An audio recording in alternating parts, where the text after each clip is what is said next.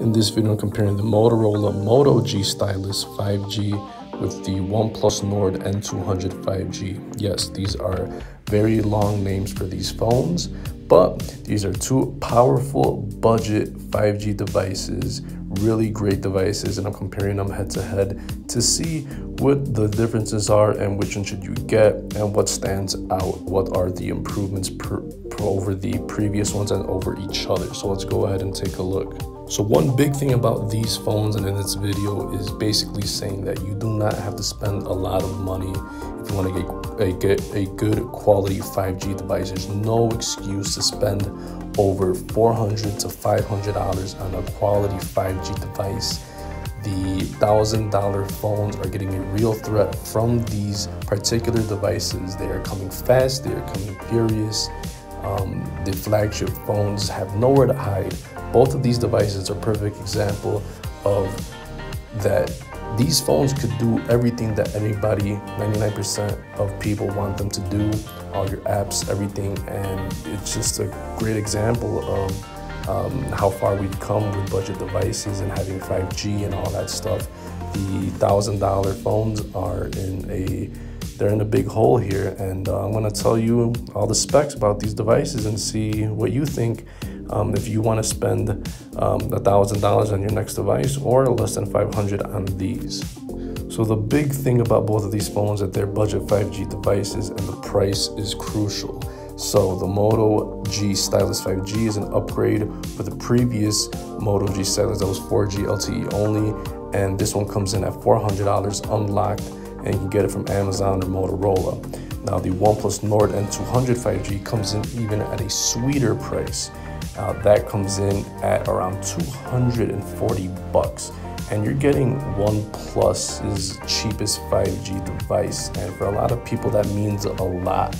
Um, so price-wise, the N200 5G is right off the boat, way better uh, than the Moto G Stylus 5G in the value department. But if the Moto G Stylus 5G uh, is on prepaid on Metro, it's probably going to compare very, very closely with the N200 5G, and I suspect both of these devices will be in the sub $50 category if you port in your number. So that's a really good thing about these devices. You can probably get them for either free up to 50 bucks, which is a good deal. So the Moto G Stylus 5G, it is uh, overall size is around 6.7 6.7 inches tall, 3 inches wide, 0.37 inches thick. Very typical and an average smartphone size these days. Same thing with the N200, 6.4 inches tall, um, 2.9 inches uh, wide, 0.33 inches thick. So overall dimensions, the N200 is a little bit slimmer. The uh, Stylus 5G is 7.6 ounces, so it's kind of heavy compared to the 6.6 ounces in the N200 5G, but not by much. It's just a little bit weightier on the Stylus 5G. For the build quality, both of these are rocking um, a glass front with a plastic back, which is typical at the at these price points. They are not flagships, but um, that's, you know, from a practical standpoint, these don't have glass, so they won't break as easily. And especially if you're to slap a, a, case on these, um, it's not really to matter. Uh, plus, that case is going to add some um, grip to it. The Moto G Stylus 5G is a nano single SIM card phone, while the N200 is a dual SIM phone, so that's one advantage there. But the Motorola Moto G Stylus 5G, like in its name, has a stylus. So that's what makes this phone stand out and it makes it the uh, budget version of the Note series from Samsung. It's basically the only alternative if you don't want to spend a thousand dollars on a um, a phone with a stylus with 5G now that LG is out of the game. So that's one big difference between these phones. Um, having that stylus uh, makes it stand out. It's good if you want to take notes or you want to have fine detail in drawing or uh, instead of using your finger and stuff like that. But those are the two things uh, that kind of make this phone stand out is that it's 5G budget, uh, you know, stylus. The um, it's the competition to the Samsung Series Note. So you also get the overall size on the Motorola Moto G Stylus 5G. It's a very huge screen. You got 6.8 inches um, with a 60 hertz LCD display with 85% screen to body ratio. The N200 has a slightly smaller screen at 6.5 inches, but it has 90 hertz refresh rate. So you get a more responsive screen on the N200, but you get a bigger screen on the Moto G Stylus 5G. And you also get more screen to body ratio on the Motorola, uh, which has 85% versus the 83% on the OnePlus. Um, these they both have a great resolution. They're both 1080p Full HD displays. Um, the Moto G stylus has 387 ppi density, which is okay. Um, the N200 has 406 ppi density, so anything close in the 400 range is pretty good. Now for the software, both of these are running very similar versions of Android. Uh, they're both rocking Android 11. Um, you got Motorola gestures uh, stock pretty much on Motorola, very standard. Has the, the karate chop for the flashlight. You got the twist for the camera. Um, the Nord N, the, the OnePlus Nord N200 has Oxygen OS, which is a stock version of Android as well. Um, which its own features, but they're very, these versions of Android are very stock, uh, so they compare very good to each other, very clean, very fast and fluid except that when it comes to updates, um, I suspect that the OnePlus Nord N200 5G is probably going to get uh, an upgrade to 12 and possibly 13, while Motorola, it's, it's probably going to be sad, but it's probably not going to get any fast updates at all. Uh, as for the chipset, both of these are rocking the Snapdragon 480 5G, which is a lower end mid range processor for 5G phones. But it is not terrible, but it's not flagship either. You'll be very happy with it for the average person. It'll happily run um, great performance for 99% of apps in the App Store with no problem. For the storage, big difference here. You got 256 gigs of internal storage on the Motorola, which is huge. That is super nice. That's probably a big standout feature on this phone versus only 64 gigs of storage on the N200, which is okay. Um, 64 gigs should be good for a lot of people, but man, 256 gigs on the Motorola just kills it. Um, you get 6 gigs of RAM on the Motorola versus the 4 gigs of RAM on the N200. Um, both of these amounts of RAM are pretty good um, except obviously you're going to run into less um, apps closing in the background with six gigs. Luckily, both of these phones have micro SD card slot, which is awesome. Flagships don't have that anymore. For the camera setup, the Motorola has a quad camera setup, 48 megapixel main, 8 megapixel ultra wide, 5 megapixel macro, 2 megapixel depth. N200 has three cameras, 13 megapixel main camera, 2 megapixel macro, 2 megapixel depth and they both shoot in 1080p full HD, you know, full HD video taking.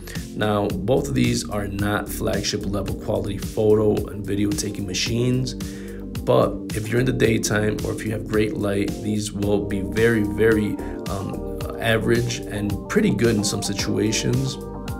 Just, you know, these phones are pretty much a lot of budget uh, to mid-range. Uh, Android phones are terrible at night, so just keep that in mind. But if I had to pick between these two, I'm going to say the Motorola Moto, uh, G, the Motorola Moto G Stylus 5G. Man, it's a long name. It's probably going to have an overall better camera setup, especially with that um, ultra wide. Uh, gives it a big difference in uh, options for the camera. Also for the selfie, you both get 16 megapixel shooters for both, and they both shoot at 1080p, so same um, pretty much the same camera for the selfie on both of these.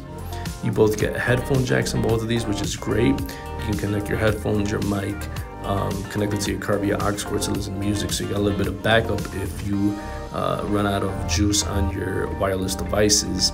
And they both come with Bluetooth, so both of these devices will connect happily to your headphones, your smartwatch, your smart band, your smart speakers, or whatever. Uh, they will connect great. Um, you get no NFC on the Motorola, but you do get it on the N200. Both of these have USB Type-C for the charging port, same port found on iPads and tablets and uh, laptops and MacBooks and Chromebooks and all that stuff. As for the fingerprint and unlocking and security, they both have a side-mounted fingerprint reader, um, which is going to be a reliable, okay way of unlocking your device.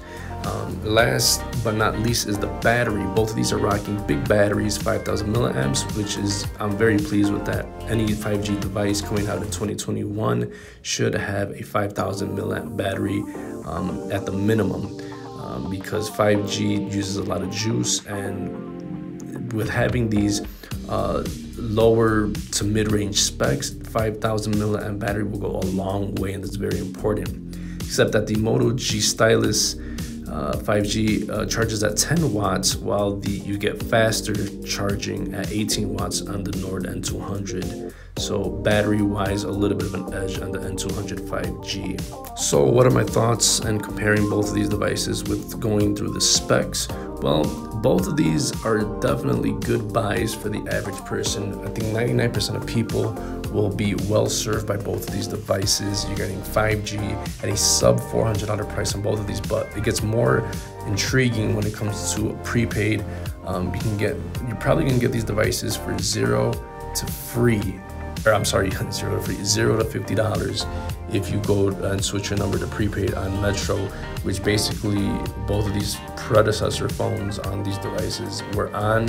And that's what I'm leaning towards is that you can get these phones for less than 50 bucks when you're porting a number. At that price, both of these are a go. Um, the one standout feature on the on these phones that make a big difference is going to be the stylus and that big screen on the Motorola.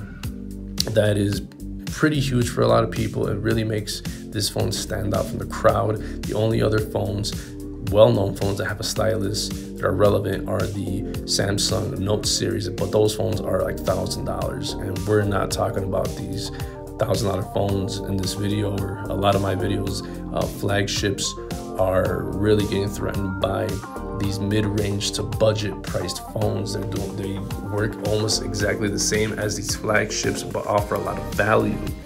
Um, the one big standout on the Nord N200 5G is probably going to be just the the reputation that OnePlus has. They are very, very, um, they come out with very good products at a, and this price point of $240 unlocked. That's going to be the cheapest price you'll find a 5G device from a well-known carrier and the look of the phone of the N200 5G, it feels like you're going to have a OnePlus uh, 9, you know, an $800 flagship device in your hand. But on paper, both of these are pretty good. Uh, if you care about internal storage, the stylus just blows it out of the water. So if that's something you care about, but uh, both of these are very intriguing. But as of uh, this video, there's no word at when the Moto G Stylus 5G will be sold at prepaid, but you can get it right now for 400 bucks. The Nord N200, I mean, that price point is very intriguing at $240, and you're probably gonna get more updates in the Motorola. And you can actually, it's not, hasn't come out yet, but it's going to come out soon, and it has been confirmed for that 240 bucks unlocked. But uh, in the end, both of these are gonna be available on prepaid, and that's where it gets really intriguing. So I mean, it's it's if you want that stylus, you know, it's very intriguing. The storage, the, the Motorola is a phone to get, but that price point at uh, if you want it fully unlocked is very good on the Nord N200 5G. So thanks for watching, guys. That's been my comparison, and I'll see you in the next one.